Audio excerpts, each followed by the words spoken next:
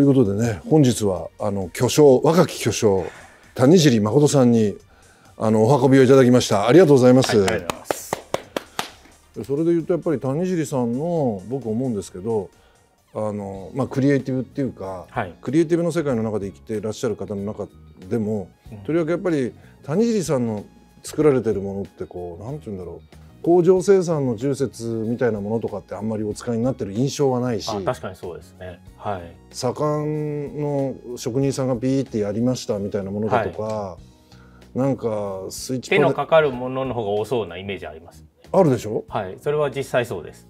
ですよね、はい。ああいうのっていうのはどういうところからこう生まれてきてるんですか？少年っぽいでしょ？いつも言うのは昔はそうやって作ってたんだよねって。なるほど。はい。あそういうことか。はい。はい。どういう子供時代を過ごされたらそういう人になるんですか？なんていうかこう僕僕は少年っぽさを感じるんですよね、はい。谷尻さんのさ、ものづくりは。僕まあ田舎育ちだったので。はいはい。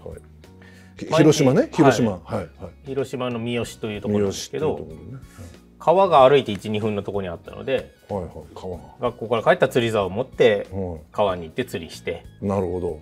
で暗くなったら土手の上におばあちゃんがご飯だよって呼びに来てへえ。釣り竿を置いたままご飯食べに帰ってうん。ご飯食べてお風呂入ってまた川行って釣りするみたいな、またやるの？はい、夜は鈴つけて釣りしてました。ねへえどういう意味？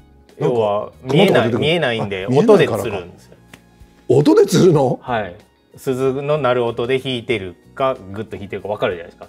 チャリンチャリンなのかチャリンチャリンチャリンってなるのか。見えない。か、はい。えーすごい感性豊かなことするんですね。そうですね。ああの経験は結構今思うと想像力に溢れてたなと思います。確かに。でそそれ最初釣りでこう釣りが大好きみたいなんでもうだから大自然と戯れるって感じですね。そうです。ね。だからまあ釣りで釣れなかったらあの川で泳いだり、今度ね、はい。はい、魚屋さんであの魚入れる発泡スチロールたくさんもらってきて。はいはいつなぎ合わせて船作って船出して沈没したりとか。そうやって。はい。今だったら危ないからやめなさいって言われそうねそうですね。ね。でもなんか今思うと遊び方が自分で発明の連続だったんですよね。確かに確かに、はい。ああだから今に生きてるところあるんだよな、でも現代社会にいると遊び方を選ぶになるじゃないですか。そうね。選ぶと結局誰かが作ったものをお金を出して買ったり借りたりしてるだけなのうで、ん、なんか物足りないというか、うん。はい。知恵は生まれないでしょうね、はい、ね。だからなんかどこかでこうそういう不便を好むじゃないですけど、あえてね、はい、ああそこにこう想像の余地があるみたいなそんな感じで。そうですね。不便だと考えざるを得なくなるじゃないですか、うーん。その環境結構好きですねでその建物だとか建築に興味を持ち始めたのはいつ頃からなんですか？僕が生まれた家が町屋で、はい、まああのー現代の家と真逆で暗くて、はいはいはい、で動線も長くてうん。で台所から今に行くのも雨降ってたら傘さしていくみたいな。へえなかなか五右衛門風呂だから昭和50年代60年代ってことでしょ？はい、僕49年生まれでギリギリもうほぼ50年なので、ねま全くそんな家に住んでる子はいなかったあんまないでないでしょうな、はい、ねせいぜいガスかなんかでそうです給湯されてるとか、はいなんかそんな感じの、へえだけどいい経験っていうかいい体験ですよね。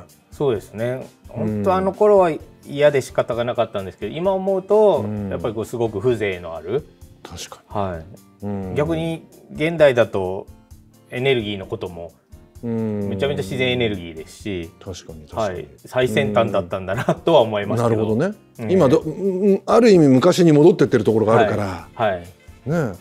あとだからそのなんだろうえっと家と家の間にだから言ったらあ傘ささなきゃいけない空間があるっていうのも、面白いって言えば面白いね。そうですね。だから思えば、季節の移り変わりとか温度とかうん。かなりそういうものに敏感にはこう、はい、なるほどねだ空調のあり方だとかなんだとかも作り方ちょっと考え、はい。違うかもしれませんよね。もちろんエアコンもなかったので、うん。あのよく道路に水を打ってはいはいはい。で両サイドこうあの扉開け風ると中庭と外のうんあの気圧の変化で風が起きるっていうのも、まあ、普通に生活の中にあったので、なるほどね、はい。それで風が通って涼しくなるみたいな、はい、へえだからエアコンをつけるっていうのも本当にいいのかなとかっていうのはもともと自分が住んでた家の経験があるのでうん。なんかそういうことを考えたりだとか。なるほどなるほど、で建築の専門学校お出になって、はい、でもう事務所に入られたわけでしょ、はい、事務所といっても今やってるようなデザイン系というよりははい。建売り住宅のばっかりやっあてるそうそうそうおっ設計事務所にしゃってたおっしゃってた入って年間100件ぐらい作ってましだからそれがまたすごいところですよね。たはい。もうもう超たくさん作るんでしょ。はい。本当に朝プランして夕方確認申請出してましたから。すごいスピードのオープンハウス並みの。そうですね。オープンハウスディベロップメント並みの、あのもう MVP 取れますねそれ。オープンハウスディベロップメントでは、はい。はい。はいへえだってなかなか100棟分ってやれないよね。そうですね。だから本当面白いんですけど、まあ、専門的な話になりますけど、大きい敷地に道路位置指定入れて入れてね。あの、はい、指定取ったりか開発とか宅造許可まで自分でとやってました、全部自分でやってるから、はい。あのだからそういうなんていうのかな分業じゃないわけですよね、はい、だから10区画土地割って10区画バーッとプランして、はいはい。バーッと図面書いちゃうみたいなこともやってたので。だから結構そういうだから住宅っていう部分についてで言うとすごい基礎体力高いんだよねそうですね。なんかそういう点で大体プランしながらこれ最高取れるかなとか車線どうかなっていうのが感覚値として分かってたので、はい、なるほどね。鍛えられましたね。鍛えられてますよね、はい。年100っていうだって打席にすごい立ってるってことだから。ですね。えええ 打席立ちまくってるから、はそれは違うよね、えはい。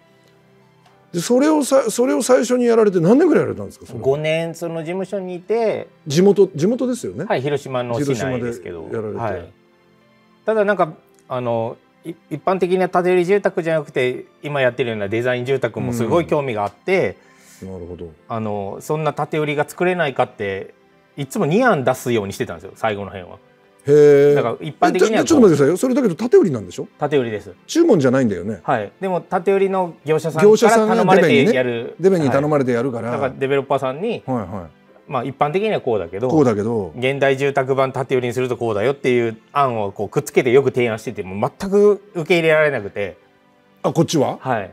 あのそのなんていうかかそんなかっこいい方が？ことしなくていいっていいからって、はい。そういうんじゃないからって、はい。安く作れた方がいいからみたいな、はい。そんな感じ？そうですね。で全く相手にされなくてどうしてもなんかそういうことがやりたくて抜け出そうと思って辞めたんですねあじゃあそこでなんか多少何本か受け入れられたとかそういうんじゃないんだ。はい。世の中ってのはしょっぱいですねやっぱり。しょっぱいですね。ねえ、はい。そこで何本か受け入れられたっていうとなんとなくこうねそうですね。救われるけど。もう22年前の話ですから。22年前だから。23年か。23年前ぐらいなので、うんあんまりデザインとか世の中そんなにうんないの言かってる時代ではなかったのでなんかそんな四角いやついらないみたいな。屋根は違うだろうみたいな。うんうんうん、はいうん、なるほどね、はい。そういうんじゃないからみたいな。はい。でそっからだからガーって舵を切って。で、えー、と僕あんまり独立する気持ちもなかったので。なるほど、はい。でもっと、まあ、インテリアとか空間のことやりたくて違うとこを受けようと思って。はい、はいはい。で受けるために会社辞めたんですよ。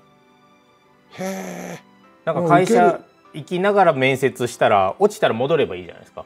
うんなんかその戻れるっていうその精神で受けに来てる人僕だったら嫌だなと思った潔いなあ。はい。さすが、まあっていうか受かると思ってたんですよ、うん、そこまでやれば。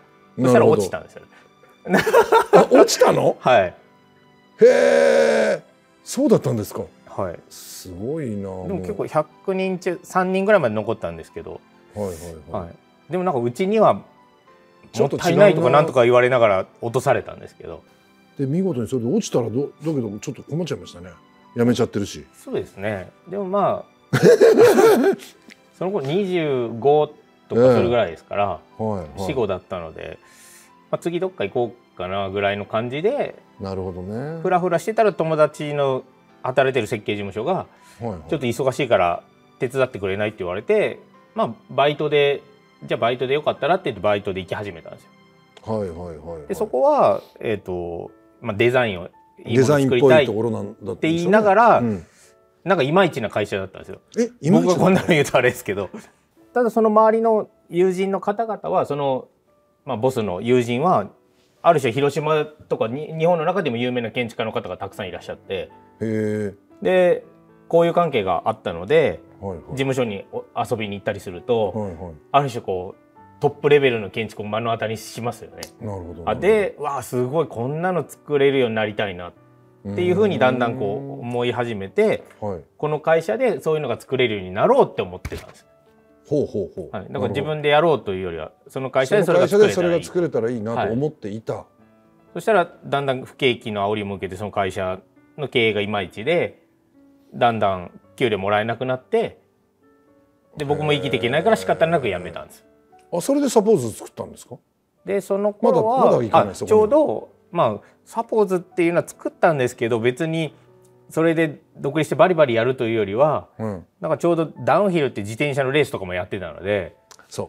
多趣味なんですよね、はい、それで26歳でこんなに自由な時間を手に入れてるんだから、うん。今年はレースに行こうと思って、まあ、バイトしながら、まあ、広島に住んでましたから、はい。レースは北海道とか新潟県であるので、まあ、レースしながらバイトしながらはい。1年間はこれからについて考える時間にしようかなぐらいでフリーでフラフラしてたんですよ。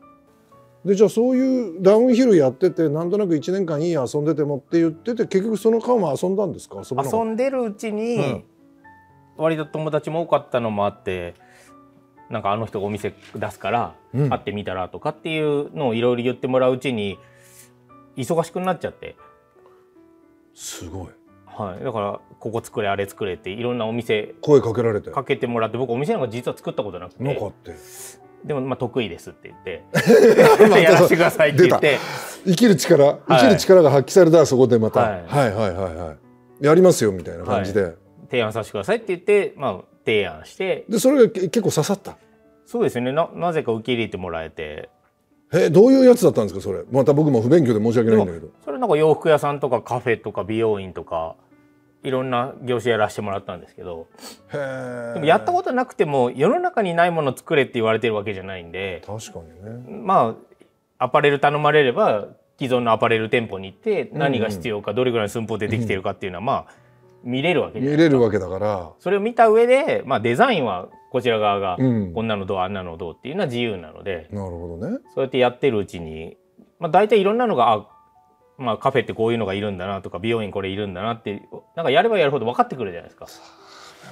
極めて実際的ですね。そうですね。だからやりながら学んでった感じです。極めて実際的ですねでもまあ安藤忠雄も熊健吾も生まれた時から美術館作ってるわけじゃないんで、はい、みんな知らない時期は平等にあるんで。そうだよね、はい、なんかいつできると思い込むかだけなんじゃないかなと思って。さすがだわ、はい、でどっちかって言ったらあれでしょ？安藤忠雄系でしょ？そうですね。谷尻さんは。そうですね。むなんかよくわかんない学歴がないやつが、はい。まあ熊さんはもうめちゃめちゃエリートそっ。ち系じゃない。えあエリート系じゃん。ストリートボクシングそうそういう感じじゃない、はい。もうこう戦う感じね。ストリートファイター系ですよね。なんか僕はあんまりこう戦うというよりはこうしなやかに。あ、はいなるほどなるほど。こう格好にはい抜けていく感じだけ昔ど、母さんの人か誰かにソフト安藤みたいな感じで言われましたね。そうなやっぱり安藤系と見なされるんだね。みなされるんじゃないですかね。カテゴリーがもしあるとそうだしたらば。よね。僕僕もそうだはない。と勝手に思ったもん、安藤忠雄系のうん若い人だなみたな。いんかなあいつよくわかんないけどえらい仕事たくさんやってんなみたいな感じですよね。だからやりまくって打席立ちまくってるからすごいよね。でどんどん仕事も受けるわけでしょ？はい。全そこがまたすごいよね。そこにさなんかつまんないなんかこうもったいぶり感がないっていうかさ、ね。あ最近は違うのか。いやそんなことないです。最近は？えさ最近でも？最近はでもある程度仕事は絞ってますけど、うん、はい、でも本当極力お受けできるものはお受けしたいというか、そこがやっぱりこうなんていうのい。や僕ねやっぱり好感度増しますよ。えー、もうキャバクラとかも作ってましたよ。なんでもね。風俗の受付とかも作ったことありますよ若い頃。やっぱりだけどそういうのがいろんなところに生きるじゃないおそらく。そうですね。わかんないけど。うん。でも結局みんなどこかで偏見持ってるわけじゃないですか。こっちの仕事はおしゃれでこっちはいまいちとか、うんあるな、はきっとあるい、でもいまいちだと思ってるものにデザインによってうん。いい空間ができたらその価値が変換できるっていうのはすごいやりがいがあるというか。うん。みんながすでにいいと言ってるところで頑張ったところで評価されないですもんね。まあ確かにね。はい、だからあんまりそこで偏見を持たずにまあいいデザインでいい空間を作るってことができれば、うん。それがまあ本来自分のやるべきことなのかなと思って、なるほどね。はい、あれもう一つ聞いときたいなと思ったのがあの谷尻さんのあのものってい。や、はい僕のまたこれ偏見かもしれないんだけど、あのちょっとレトロっぽくない？ななんていうか昔を感じるさせる要素が必ず入ってないですか？なんかあなんかそれは違うかな？あえっとすごい嬉しくてはいは新しいものは作りたいんですけど、い、うん、あのみんなの知らない新しさは新しいかどうかさえもわからないはずじゃないですか。なるほどね。だからそういう意味では、みんなが知ってる新しいものっていうのはどういうものなのかっていうのは割とずっと考えていて、なるほど、はい、だからなんとなく既成概念とか人が持っている記憶みたいなものと新しさが混ざるようには作ろうとしてる。なるほど。だからちょっと料理と同じだそれ。あそうですね。はい、料理と同じだわそれ岸田シェフ同じですね。あそうですか。あのカンテサンスの。あーそうなんですね。はい。岸田シェフの料理はあのエビせんの味とかするんですよ。あーはいはい。だけど言ってないんですよ。彼は。はい。あだけどこれエビせんインスパイアじゃねえかなって俺は勝手に思ったりするんですけど、はい。そういう感じだ。そうです。人の記憶は必ずあるので。どっかでなんか見たかっこよさとかなんかはい懐かしさとか、そうですねなんかほらあるじゃないはそういうのがありますよい、ね、はい、だから懐かしい未来を作るんだってよく話してます、そうなんだ、はい、なるほどな、うん、だからそういう味わいが出るんでしょうね。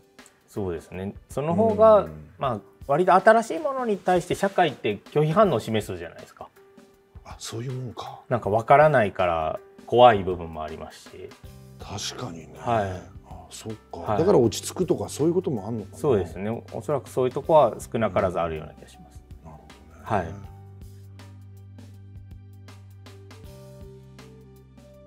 ちょっとあのーここからですねこのスパイダーチャートっていうので、はい。あのー皆さんにお書きいただいてるんですけど、はい。ちょっと谷尻さんが何をどう優先順位つけて生きてらっしゃるかっていう今ですよね。今です。今。今です。今な今です。今です。これどうやってやるんですか？これねなんかポイント打てば。ポイント打っていただいたら私つなぎますから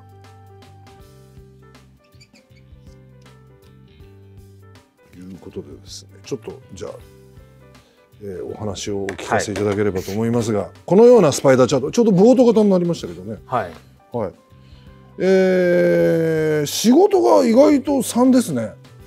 仕事は、はあのいつでもできるじゃないですか。いい。つでもできますよ仕事なんてのはね。はい。はいで今息子がし小2なんですけど、はいはい。まあ、ある種子育てってクリエイティブで全く思い通りにならないのではいはい。それがまあ面白いからなんかクリエイティブを一番いかんとなく発揮しないといけないからこれが面白い。なるほどなるほど。で仕事ばっかりやってるとこっちと関われなくなって、まあ、子供も小学生終わったぐらいにはどうせ大人の相手なんかししなくなるのでうんそうですよね。まあ、今のうちはうん。子供としっかり遊んで、なるほどね。あと45年経てば中学生になったら遊んでくれなくなったらまあもうちょっと仕事の割合増やしてもゲーいいかなとか。ジをこっち側に増やそうはいかなみたいな。ね、これはまあいつでもできるので、うん。はい。なるほどなるほど。これは今しかできないから大事にして、そっかそっか。はい。でまあこういうもまあちょうど中央ぐらいのところでね。うん、なんか誰彼構わずずっと遊なんかお付き合いしていると。はいはい。やっぱり大事なものを見えなくなるんで、うん。まあ、友達は多い方かもしれないですけどはい本当の親友っていうのはまあ少ない方がいいなと思ってて、なるほどね、はい。まあ、あんまりこういうばかりしててもしょうがない。その通りですね、はい。うん、で趣味は、まあ、毎週子供連れでキャンプ行ったり、キャンプ行ったりね。海や山にずほぼほぼ得意でしょうから。はい、いますから。はいはい。逆にそこで見つけた敷地のことと仕事も結びつきますし家族も満足するしなるほど自然にいると体は健康になるしうんっていうのがここうバランスが取れてる感じはしますね今一番だから趣味として時間費やしてるのはななんなんなんですか？やっぱり自然の中にいてキャンプ釣り。キャンプ釣り。あと海行ったらサーフィンして冬になったらスノーボうんスノボして、はい。でたまにチャリ？チャリはや自んないの？転車はさもう今はほとんど乗ってないですね。自転車もやらないんですか？はい。もうレースはやらなくなりました。あレースははいやらないんだな、はい。えー。でキャンプっていうとキャンプでやることっていうと結局野外で泊まるってことだと思うんだけどキャンプって、はい。だな何をやるの？僕なんか全然わかんない焚き火したりご飯作った 焚きり、火したりご飯、はい、あとサウナに入ったり。サウナが入っちゃう、はい。キャンプで？はい。そうなんだ。はい。なるほど、ね、あんなに嫌だった薪を割ってあのお風呂を沸かす行為がが今はサウナのために薪を割ってくべてキャンプで薪割って焚き火してご飯作ってて喜びに変わってるんですよね。そうなんだな、はだけどそれを子供の頃やってるからどうということもなくできちゃうんでしょうね。そうですね。はい。ね。はい。そうだよ。でちなみに自然のサウナっていうかそうやって薪で作るサウナっていうのは、はい。そこら辺にあるものなんですか？えっ、とない場所はストーブとテント持ってってやったりあとはまあ自分たちでキャンプ場を運営してるところもあって。あそうだそうだ。そういうのもやってるから、そこだともうサウナ小屋を設計して作ったり。それはだけどみなかみもやりたくないですかね。いやーそれは絶み対あなかみったらいいですやりましょうよ、はい。サウナ好きな人多いですよね今。多いですね。やたらね、はい。あなんていうの？整えるとか言っちゃう。整えって言いますね。整えるとか言って、はねえ。ぜひそれお願いしたいですね、はい。特に寒い場所とサウナ相性いいですから。相性いいからね。おっはいしゃる通りだな、でまあこういう一種の循環ですね。だから全部つながってるっていうかね。はい、っていうようなお話だなというふうに思いました。うん。でこれ最後続きましてですね、この習慣についてお聞かせをいただければなと思っておりまして、これぜひ何が習慣だろう。習慣。習慣終わりじゃないかな。大切にしている習慣。大切にしている習慣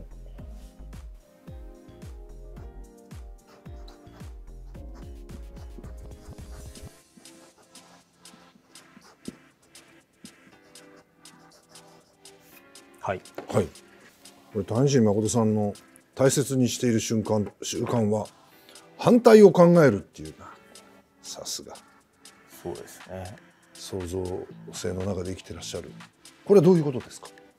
だからみんなが「いいねいいね」って賛成したら物事ってそのままいっちゃうものだと思うんですけどそうですね。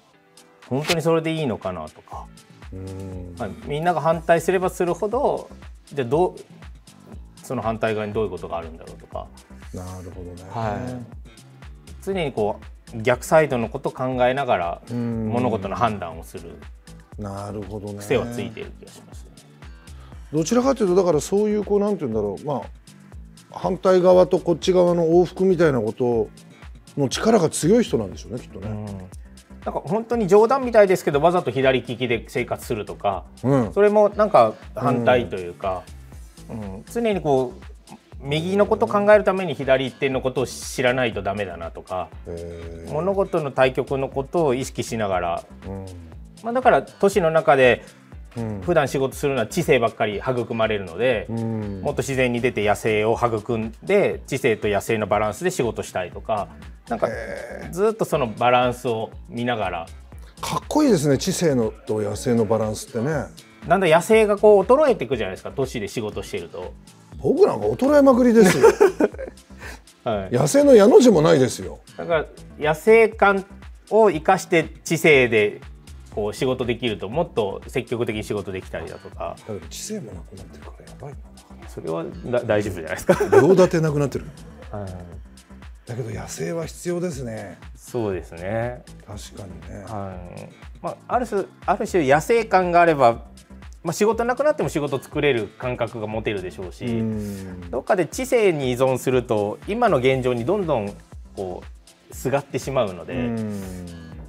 常にそうじゃない部分も野生感として持っておきたいっていうのがあるんですよ。だから野生っていう言葉がすごいですね。か感性じゃなくて野生で持ってくるから。はい。ね。そうですね。うん。なかなか僕なんか野生ないよ。やばいなと思っちゃっうん。でも野生にこうまあもちろんどっかではそこは人工的な部分はあるんですけど自然の中にいるとずっと考えざるを得ないですし想像力がすごい膨らみますし。僕はもうたまにしかそういうなんて言うんだろうな自然に近しいところって行かないけどなんとなく違う感じってありますもんねありますね。はい。何か思いつくことだとか考えることが違ってたりしますもんね、はい。確かにねもう笑えますけど本当男しかいなかったらもう全部服脱いで自然の中でサウナ入って外で外気浴したりするんですよ。へえやっぱそうするとめちゃめちゃ解放されてそんな経験なかなかないよなっていうこう普通に生活してると、うん、ある程度いろんな社会のルールとかいろんなものの中でこう自分を装うわけじゃないですか。でもこう全部何もなくなった状態っていうのも、うん、すごくこう感覚的には何て言うんでしょう、研ぎ澄まされていくというか。はい、えー、何か着て生きてますからね確かにね。そうなんですよね、えーうん。それから解放されるみたいな。はい、で解放された同士で話したりするとやっぱりなんか普段とは違う会話があったりより仲良くなったり。なるほどね、はい、今一番だからそういう意味で野生に戻るっていうか自然と触れ合うっていうと場所的にはどこが多いんですか？最近は千葉に一つ別荘を作ったので千葉にね、はい、千葉に行って、うんうん、まあ、サーフィンして、うん、サウナ入ってご飯作ったりとか。はい、あとはまあキャンプ場に行ったり。キャンプ場に行ったり、ね。まあ、北海道もかなりよく行ってます今は北海道よく行くんですか、はい、え北海道はなんかプロジェクトあるんですか？プロジェクトを作るために、先に土地買いました。はい、プロジェクトどの辺どの辺ですか？北海道で旭川の近くの美瑛という。あ美瑛ね、はい、いいところじゃないですか、はい、あの綺麗なところでしょ？はい。へえ美瑛にね、はい、へえ美瑛ってあのたくさん花が咲いてるところ？そうですね。あの丘がすごい綺麗すごい丘が綺麗なところ、はい、あのみんな世界から行きたいって言って、はい、いるところ、はい、あのインスタグラムによく出てるみたいなところ？そうです、ね、へえでそこで何やるんですか？一箇所はまあまあ、別荘のようなあと事務所も作りたいなと思ってるんですけど。なるほど。でもう一箇所は大きな場所買って、うんうん、畑作って、うん、いずれはまあ自給自足できるような場所にできないかなと思って。あ将来の？はい。なんかこう老人ホームってなんか使えなくなったらお金払って入れてもらう場所みたいな感じのイメージあるんですけど、うん、もうちょっとこうアクティブに別に年取る前からそこに行って、うん、まあ畑仕事して釣りして生活していけるようなそういう環境。はい、へえ。興味があるので。な。るほど、ね。はい、宿泊施設じゃないんですね。泊まれるようにもできたらなと思いますけど。できたらなっていう、はい、なるほどな。やっぱりいろんなことをチャレンジしてます。そう。あとチャレンジする人ですよね。そうですね建築家ではい建築の仕事はするけど他のことするしないですっていうんじゃないっていうかさいろんなことしてますもんね。されてますもんね。そうですね。まあうん。これ口癖ですけどあのあれですね。あのアイディアには価値がないので。なるほど。はい。実行しないとってこと？はい。アイディアってもうもう全ての人が持ってるわけで。でそれは何か挑戦して形にした時初めてアイデアっていうのが価値化するわけで、だからアイデアでしかない、うん、でもやっぱり行動して形にするとアイデアが価値化するので常にまあ挑戦してどうやったらそれが具現化できるかっていうことはまあ考えてるかもしれないですね。はい、なんかそのままアイデアがせっかくいいのに、うん、そのままいいよねって思ってても時間が経ったら必ず大体同時代的に誰かがそれをや,、やりますよね。うん、そうするとその人は必ず「いや俺も考えてたんだよ」って言うけど、うん、全く無意味じゃないですか。うん、その通りだな、はい、で早く挑戦した形にすると早く失敗できますから、うん、早く解決できるので。なるほど、ね、はいまあ、やらない人の方が多いですからね。そうなんですよね。だからそれが僕はやらないっていうのがちょっと苦手なだけです。はい。まあ今までの人生の系譜でもやってるもんね。そうですね。いろいろね。はい。うん。まあそれがいいんだろうなやっぱりな。皆さんやっぱり失敗を嫌うじゃないですか。そうだね。そうですね。はい、本当に。でこいつもこれもスタッフとも話すんですけど、うん、失敗っていうのが結果だと思ってるから挑戦できなくなるじゃないですか。失敗したくないっていうのはでも失敗っていうのはプロセスで途中経過なので、失敗があるから次にこうすればいいってことが生まれるので、最終的には失敗っていうのは結果じゃなくプロセスにできるような動き方にすればいいので、はい、そうすると挑戦しやすくなるのかなと。はい、今なんか計画中のその美瑛の土地以外のチャレンジとしてはどういうものがあるんですか？あのネット系の、あテックカンパニーを一つやってるし、はい、あと何かあるんですか？プロジェクト的には。プロジェクトはそうですね。まあ第一というもので別荘事業。あ別荘事業でねやられてるし、はい、やってるものがあったり、そっかそっか。いろいろやってらっしゃるからね、はい。えー、だからそういうのでいうと充実してるっていうかいろんなことしてるからね、あと地元にお餅屋さん作りましたね。広島に。はい。生まれた町にまあ町づくりの一環として。へー餅屋。